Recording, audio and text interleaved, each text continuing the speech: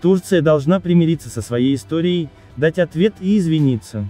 Об этом на совместной пресс-конференции с президентом Армении Арменом Саркисяном 5 ноября заявил президент Греции Прокопис Павлопулос, коснувшись геноцида армян и геноцида понтийских греков.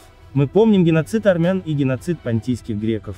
Рады, что Палата представителей США признала геноцид армян. Хочу поблагодарить за принятие парламентом Армении геноцида понтийских греков, отметил он, напомнив, что в 1996 году парламент Греции признал геноцид армян, установив 24 апреля днем памяти геноцида армян, а в 2014 году криминализировал отрицание геноцида армян. Президент Греции коснулся также сотрудничества диаспор двух народов. У нас нет огромных территорий и большого количества населения, однако благодаря нашим диаспорам у нас нет границ.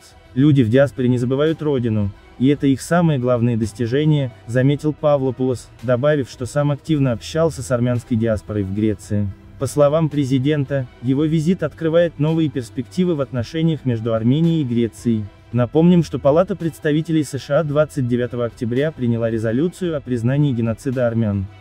Пишите ваше мнение в комментариях, ставьте лайки и подписывайтесь на канал, чтобы не пропустили новые видео.